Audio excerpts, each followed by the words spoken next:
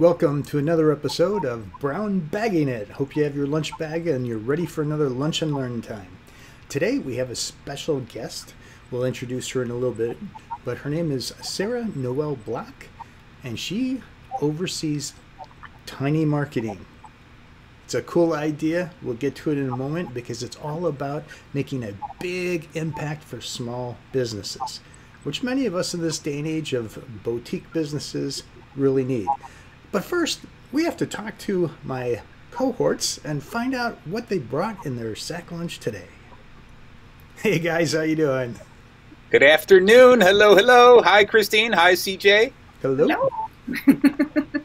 so, Christine, I think today's topic, you know, the today's our fourth episode on persuasion, and it's our last episode, the final one.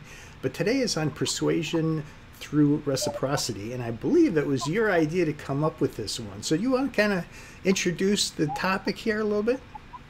Sure. Well, I, I will backpedal a little bit, just pointing out, you know, as leaders and communicators, persuasion is such a key part of what we're doing in our businesses, in our nonprofits, maybe at your church, in projects and meetings, even with our kids, right? We're always persuading someone to come to our side of uh, or to go in the direction that we're hoping to go. And one of those techniques is reciprocity. So reciprocity is this exchanging of things with others for mutual benefit. Mm-hmm. Uh, kind of like Marty. In my bag here, I have some sugar cookies. ah. and like maybe you'll trade some lunch with me. possibly, possibly. But, but let's you know, see. Christine, I would be more than happy to trade because you see, today I got a really tiny lunch oh, bag. Oh, because oh, of right? tiny marketing. I like there that. You go. There you go. So today I am having, let me see if I can get it out. I'm, I'm having some chili, all right? and and I'm also having a little bag of donuts here. So, so you know, this is really nice. I I must have done something really nice for my wife because she made me such a tiny little lunch. You spent some time on that. She's awesome. Let's hope there's no hint of a small diet. Uh, That's another way to my, cut calories, right? There you go. There you go. I can still have that full lunch with almost zero calories. So, so guys, let's talk for a moment about reciprocity because, first of all, I think we need to understand that well before we can talk about the sure. persuasion of it. I mean, because first of all, reciprocity. Tell me if I'm right or wrong here, but isn't that really making sure that both parties win? Isn't it an equal exchange? And the word persuasion suggests that maybe there's not always a two way win. What are your thoughts? Well, I look at persuasion uh, in a more positive way. I look at persuasion as a nudging, a pushing in a certain direction. But if it's not going to be a win a win-win, then it's got to stop. I love the idea of reciprocity, okay. the idea of uh, giving uh, of myself to someone else first to show uh, or establish some trust, and then let them give back. But it's always got to be a win-win. Yeah, definitely. I mean, what we're seeking is a sweet spot between our positions, right? There's a, I want you to pay more, you want to pay less, and somewhere there's a sweet spot where we're both going to feel good about that. So, um, I don't think it has. I agree with Marty. I don't think it's negative. I think these are tools to help people to come to the same way of thinking, or and you know, the sweet spot spot sometimes we miss it a little bit. It lands on one side or the other, and I think that's longevity of relationships or ongoing relationships. Yeah, I, th- I think you guys have a good point here because a lot of times when I have reciprocity involved, it's not necessarily two equal things you know, this one person brings an activity or this other person brings a knowledge or skill set. Uh, it doesn't have to be equal things, but you have to decide on that goal that you're both trying to get to, and can we bring it together in a way uh, where we're successful um, with that some sense of equality, I assume. Right. I saw a really cool example of reciprocity. I think it, you guys tell me how this qualifies. I think it does. There was okay. a local store here that um, because of the pandemic they couldn't have people come in and the it was a ceramic store So they were used to having people come in and paint ceramics, but at, for a portion of time, people couldn't come in there. Sure. So they teamed up. They actually sold um, to go kits for the ceramics. But the reciprocity came in when they teamed up with another business and said, hey, we're going to sell your pizza kit along with our kit. So it was a mutual sort of thing because the you know they're selling for the other person and it's packing out their package. It's making their package more full to go out the door. So i think that was like a super clever reciprocity example of reciprocity. Yeah. Well thank you for sharing that with us. You know I really like the fact that we're diving into this to figure it out. The, the key is understand that the word persuasion doesn't have to be negative, as some people right. think it is. Uh, but instead, it could be moving both people towards something very positive. Uh, they just need a little nudge or a little more information or whatever it takes. Uh, and when you can use reciprocity as that final push to persuade them to where everyone succeeds or wins, uh, I think it's a successful thing. But I want to hear our special guest talk about that in just yes, a moment. Let's hear from the expert. That's that's why we bring them in. exactly. So today we're talking to Sarah Noel Block. She owns Tiny Marketing, which makes a big impact for small businesses.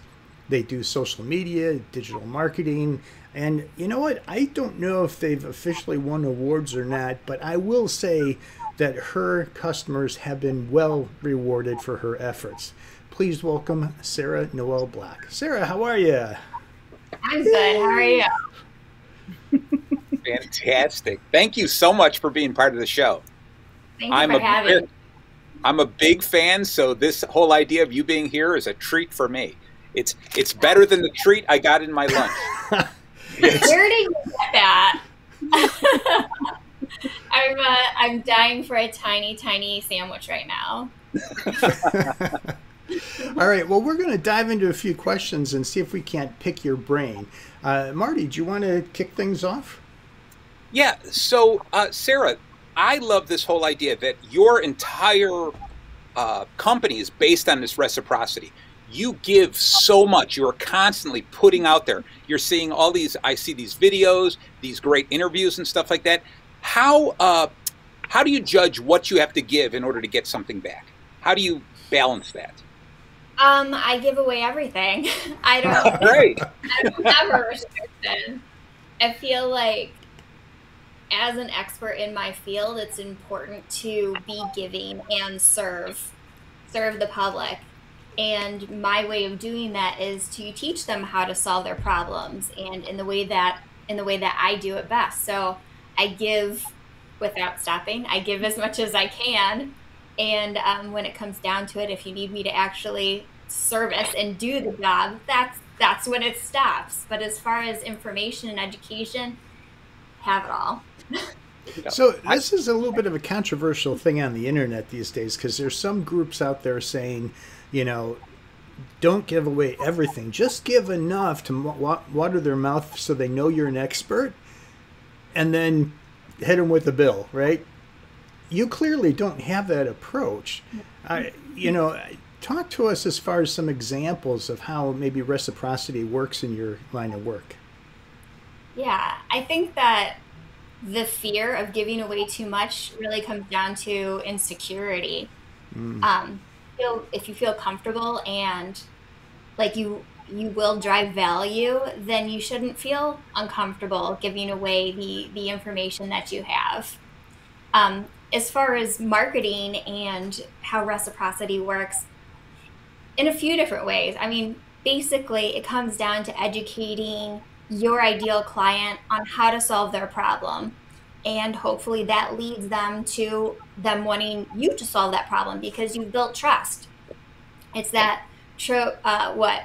Like no trust factor. You build it through educating people. And you could do that through partnerships like this one or i had a meeting earlier today with a uh, digital marketing company basically that's reciprocity. They want me to do a webinar with them, and I connect with their audience who we share the same audience. We sell to mm. the same people.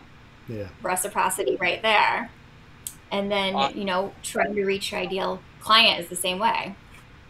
All right, I, I like this and I agree with you. You've got to give away as much as you can because just watching your videos, I realize, wow, this person either knows everything or is connected to everything.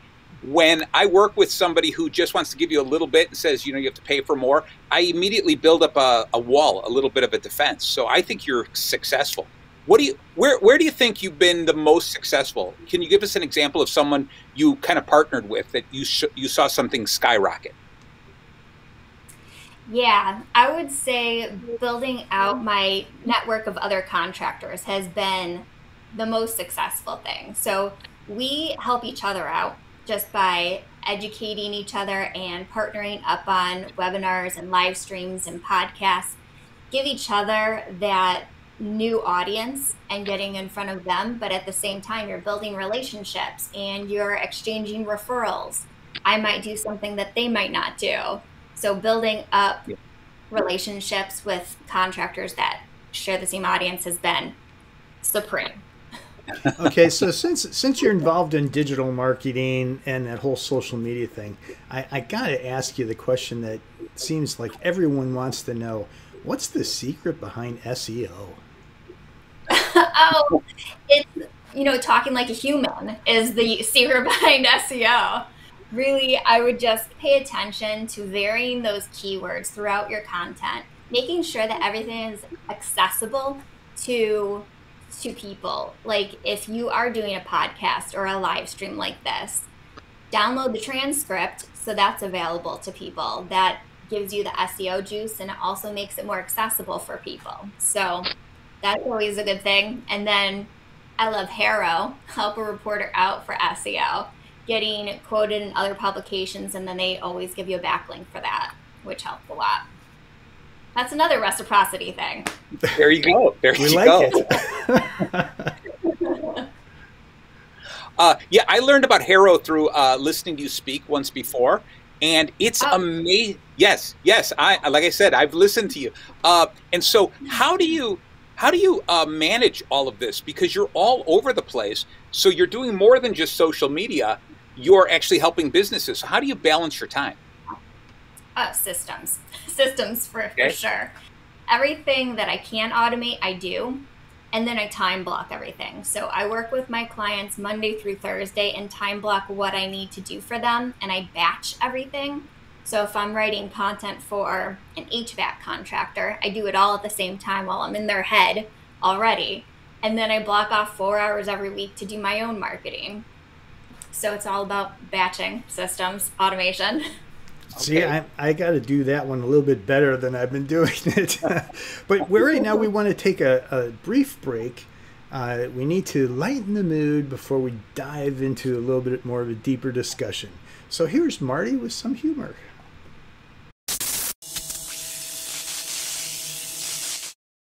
One day, it was raining cats and dogs. I mean, it was really, really pouring.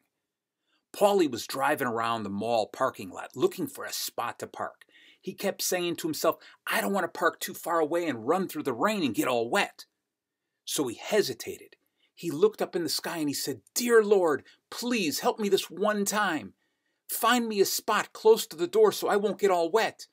And in reciprocation, Lord, I will start going to church on Sundays. I'll stop drinking. I'll be a better father. I'll be a better husband. I will be a better man. At that very moment, a large clap of thunder, boom! The rain stopped. The clouds parted and the sun shined down in this one spot right next to the door, and miraculously, a parking spot appeared.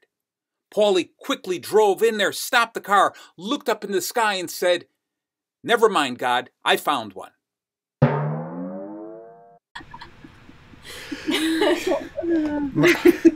you know, I, I never know how to respond to these giggle moments, but they do cause me to giggle, so I like it.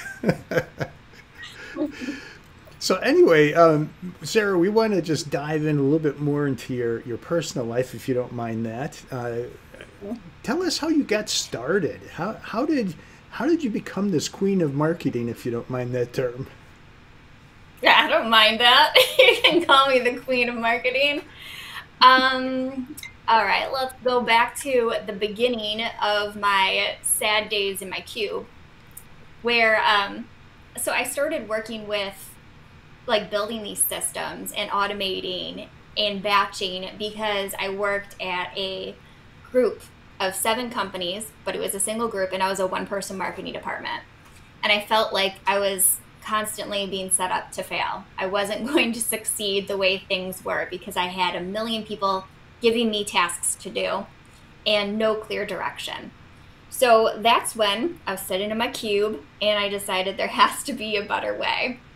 And I started building out systems to be able to really focus on each of those seven companies and batch and get all, everything out that I needed to get out. Mm-hmm. And that's when I built up the foundation of what Tiny Marketing ended up being. And then um, last year, I decided to take it full time. I was an in house marketer for 15 years wow. and freelancing on the side. And then last year, I said, you know what, I'm going to I'm going to shoot my shot and it has it has been great. I've gotten extremely lucky, work with amazing people. Congratulations. Thank you. Actually, this Saturday is my one year anniversary. Ah, wow. So congratulations. Now, how one of the things I'm curious about in marketing is, I mean, here you are, you're working on the computer, you're doing all these digital things, but how are you staying connected? How do you keep your finger on the pulse when everything that you're doing is digital? I mean, this seems like an important part of reciprocity. Do you mean as far as like building relationships and having those opportunities for reciprocity? Well, yes. I can do that digitally.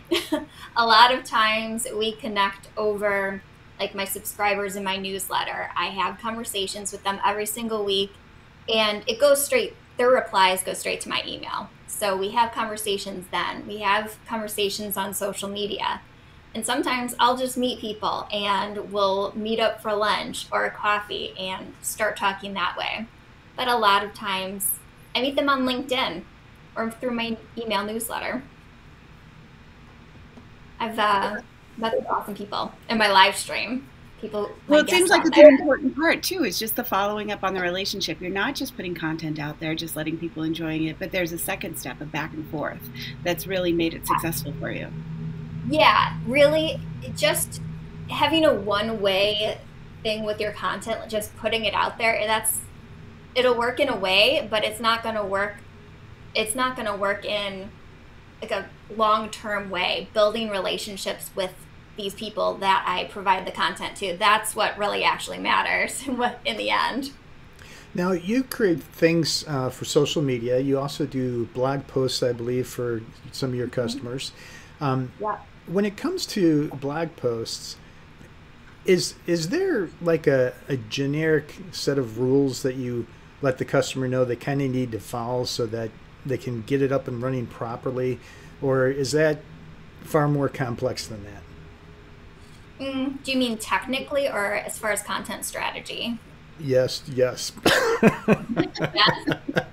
I do have some rule of, rules of thumb that really make a big difference. So, formatting, making sure everything is really scannable because most of the time people are scanning your blog posts, making sure that the keywords are positioned just right in the blog post, making sure there's right images, embedded video whenever possible technically, I don't like comments, so I usually remove the commentary area because it's usually spam. Ah. But having that share link in there, as far as technical check marks, do that so it's shareable. Um, and then content strategy. I like to always start my relationships with my clients doing a brand messaging session mm-hmm. where we look at their audience the problem that they have and the solution and really clarify the message. And from there, I build out content clusters. So we only talk about these four pillars within their blog. and then they become known for those for those things. If you try and talk about everything, then you're known for nothing. Good point. Yeah, I like that. Yeah, I'm gonna quote That's myself. also you're in, in the first interview you talked about it that you know you are a giver. It sounds like even outside of your business that you're a giver. How do you keep yourself from running yourself ragged? I mean, I think a lot of business owners and leaders kind of run into that. You're so passionate that maybe it Yeah. there's a point where you kind of have a dip in energy. Do you have what do you personally use to handle those moments? Oh, burnout happens for sure. I try and do absolutely nothing, at least one day a week, though, where don't even look at me. I am out of commission. I am just doing stuff for me today. I think that helps a lot is that I, I take I take that day and I just take every moment that I can. I work out every day at lunch actually, usually at 12 to 1, so like right now. and that that 1 hour of me time really helps a lot. That's great. Hey, I wish I had a little more me time myself. but Yeah. somehow times just keep on disappearing. No matter how many times I think, okay, this usually takes two hours, whoops, it took three, or this took a half hour and I was expecting it to. Well, anyway, you get the idea. Do you have any Yeah. recommendations as far as how to find a structure? I mean, it sounds like you know enough about systems and processes. What's your recommendation to make sure that we stay on target? Yeah, that actually really excited me when you asked me that question. Did you see my eyes light up? so, when I'm working, I always put a timer on. I, I use Bonsai for all of my client stuff, and there is Ah. a project timer on there. So, I time every project that I do. At least I did it like at least do it for the first couple months that you're that you're trying to build out your systems Sure. and then you'll have a real honest idea of how long something will take. I actually built out a spreadsheet where I have like the average amount of time it takes me to do something because I like to just block off that time so no one can take it and I can just get on through it. So I'm, I'm not familiar with Bonsai. Is that like a, a software thing that records or just a, a separate timer? There is absolutely a million of them available. I use Bonsai because like my proposals, my invoices, my projects are all on that platform.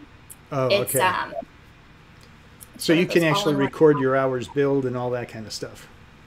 Yeah, exactly. And they have one in there, so I use that. But there's a million out there that you could use. Yeah, great. Christine, did you have uh, any other thoughts that you wanted to? Because You know, I did, and it. I've been sitting here, and I was like, "Where did that?" I was listening to the bond, the explanation of bonsai. I have been exposed to the timer before, as uh, there's, like you said, there's a bunch of different apps for ways to approach that, and that's a great way. I wanted to ask you about managing expectations. So when you are in this reciprocal relationship with someone, or you know, do you run into situations where the expectations, you know, just sometimes when we're giving everything that we can, someone might be expecting more or they don't realize that this is kind of where this ends. And so, how do you manage those? Uh, yeah, I'm actually dealing with with that right now, and I feel like clarity from the very beginning is absolutely important. Like, if it's if it's something that's pretty serious, where like you're doing an exchange of goods, I would say have a contract.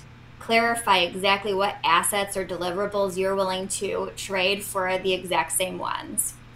And um, you have to just be completely clear or you'll ruin that relationship.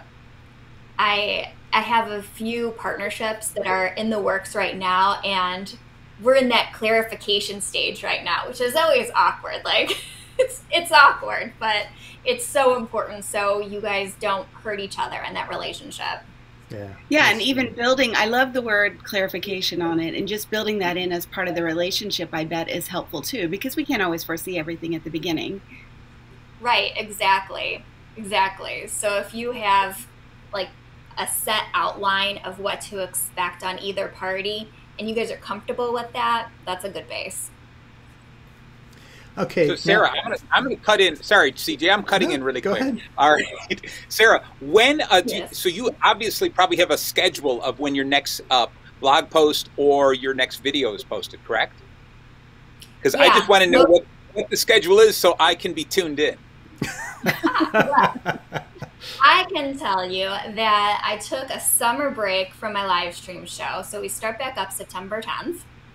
And it will be every other Thursday at 11:30 will be the live stream show. And then the last week of the month we'll put out a pillar blog post that goes along with the theme. And Excellent. then every Tuesday the newsletter goes out. All right. That's that's excellent. Now, before you go, we actually want you to stick around a little bit longer here. Uh, what we tend to do at this point is we talk about youth being leaders and how they can be communicators and leaders both. Uh, and what we have normally done is Marty goes out, he interviews a youth that seems to be moving ahead faster than most. Mm-hmm. And then we want to get your input on it. Uh, so so hang tight here. Um, Marty, why don't you introduce who your guest interview is for? All right. with. Well, actually, this is this is excellent. So, Sarah, please pay attention because this young girl started her own podcast. She has a uh, deep religious belief, and she just feels uh, she's got a calling to motivate others. And again, it's another one of these kids that I just truly enjoyed, and I'm so sorry that the interviews are so short. I want to spend the entire day just chatting with her. So, DJ, run the video.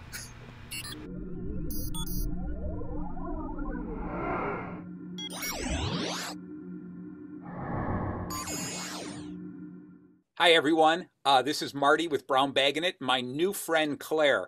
Claire is the host of an incredible podcast that I insist that you listen to. The podcast is called Eyeglass on Earth. So, Claire, tell us a little bit about yourself. Give us a little brief bio.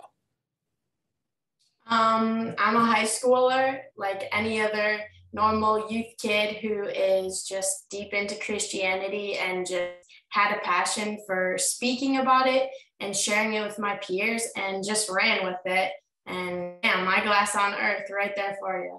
I, I, I love it. I love the name Eyeglass on Earth. Could you tell us a little bit about what that actually means? Yeah, so literally eyeglass and earth. So when you think of an eyeglass, Mhm. like zooming in and magnifying on our everyday our problems, our relationships, like Christianity on earth. Exactly that. Okay, all right. So what what motivated you, uh, a young girl, to say, "I'm just going to go out there and try to help as many people as I can"? What motivates you? Um, motivating me is definitely seeing change, like seeing people empowered, whether it's going to a youth camp and seeing these like kids that would just break down because they would have the impacts of Christ on them was just totally like heart changing. And like seeing people run with their passions, like just inspires me to like keep going and try and help other people be changed. Okay, all right. So so talking about inspiration, uh, who inspires you? What are some of the podcasts or or other uh, speakers that you enjoy listening to?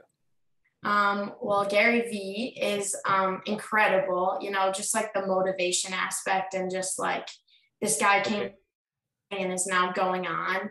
And just like everyday like pastors and preachers, like seeing men and women that are capable of just spreading God's gospel is huge, you know.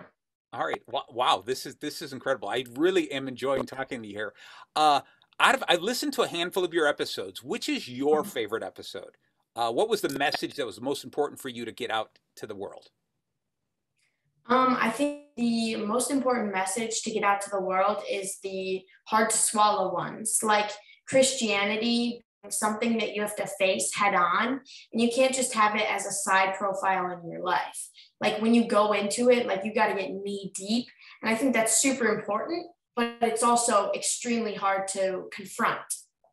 All right. Wow. You are a very uh, deep person. Uh, where where are we going to see you in the future? What do you think your future holds for you? Um, I mean, a big stage. Hopefully, Okay. crossing my fingers looks very great. Um, I mean, even if it's something small, just empowering people in general is something I would just love to get into. And just speaking is just incredible. Well, I have a funny feeling you're going to get there, and I just want to remind you: leave a couple tickets at the box office for me. All right, that's going to be really important. Uh, I'll, I'll thank you, thank you. So, uh, what would you say? Um, uh, give a, uh, us a couple of words of motivation for the youth of the world right now. Um, I think as part of the youth, as I think it's really important to stay true to yourself okay. and to stay true to where you came from and but to grow within that.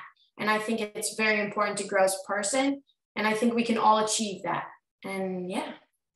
That's that's cool. Okay, tell us where we can find uh, Eyeglass on Earth. Um, you can find Eyeglass on Earth anywhere you listen to podcasts, Spotify, Apple, anywhere. Literally, just type in Eyeglass on Earth, and you're there. All right, cool, cool. Uh, any kind of a sneak preview of what your next uh, podcast, next episode, or is, it, or is this going to be a secret? Um, I mean, a little bit of a secret, but we're we're we're going to be progressing with our relationships through Christ as youth. So it'll be a fun ride. All right, all right. Claire, again, thank you so much for this opportunity to talk with you. Uh, you've gained a big fan here, and hopefully we can bring some more fans to you. Thank you so much for being part of Brown Bagging It. Any last words you want to share with us? No, thank you for having me. It, it means a lot. Thank you so much. All right. Take care. Thank you so much. Bye-bye.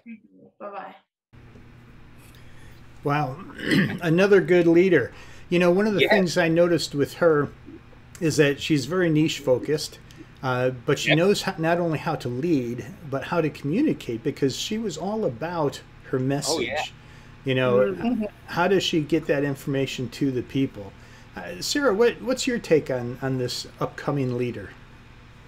Yeah, I I feel like Gen Z is amazing. They are the biggest they're having a huge impact and I feel like they care so much more about the big picture than previous generations. So I'm just I'm proud of that generation. I wish I had something to do with it. I think that's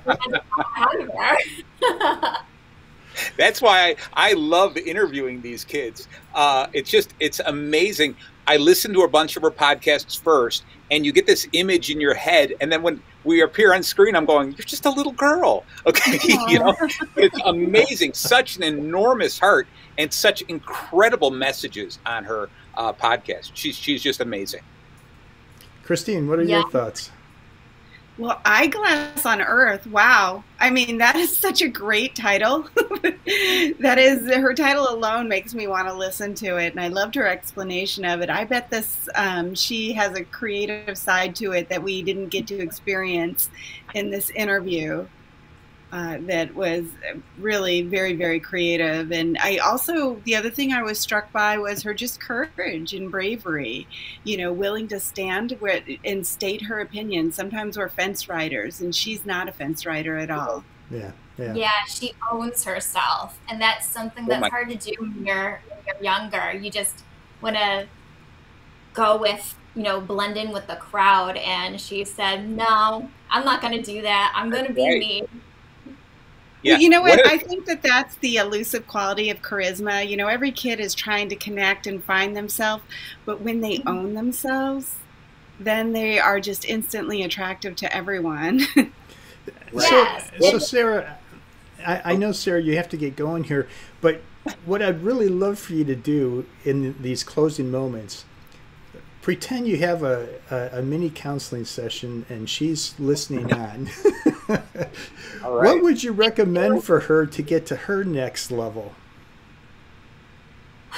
I would say that, well, as far as marketing is going, she's doing the right thing where she said you could find her anywhere at um, Eyeglass on Earth. So, website, all of the all of the podcast platforms having that consistent brand across the board is so important when it comes to it.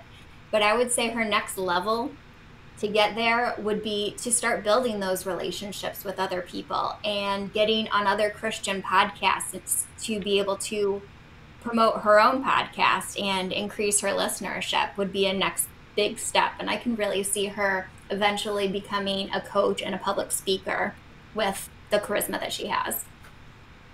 That's Definitely. great. So just, yeah. just Well, does one, that mean, one last thing I wanted. One last thing I wanted to say about her was normally when I'm talking to these kids, we spend some time getting to know each other. She was just like, "Start recording. Just go ahead and start recording." That's great. You know, I'm wondering if we should take some of these tips ourselves. I think it's time for Marty to show up on other people's podcasts to talk about brown bagging it. It works. There you go. There you go. Uh, so, Sarah, any closing comments before you get running off?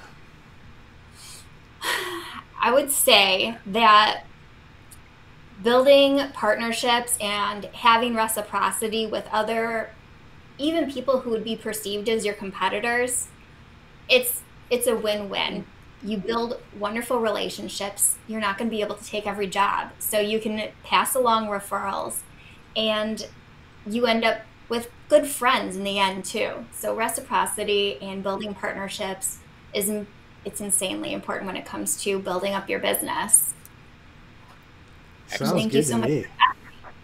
Yay! Wise words. Yes.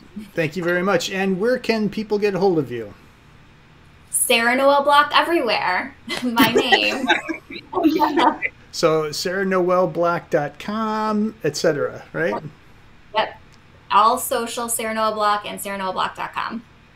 Excellent. Excellent. All right. Thank well, you. thank you so very much, much. Thank you for having me. It was a lot of fun. Great. Oh, well, I tell you what, this has been fantastic so far, but we're not done. We now No. want to have our book moment, our deep dive into our latest book that we're reading. So here's Christine.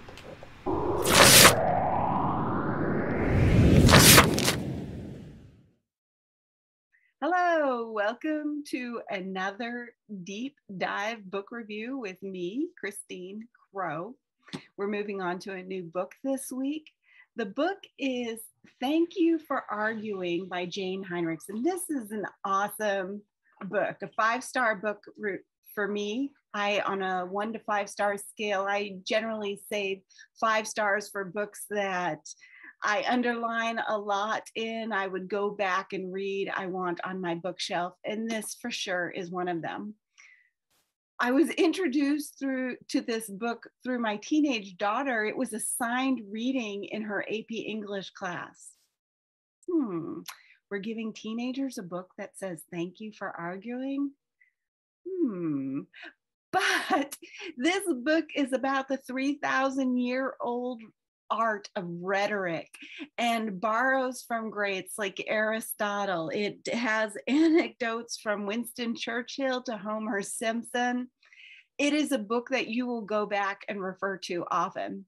The first time I went through the book, I went through as an audiobook.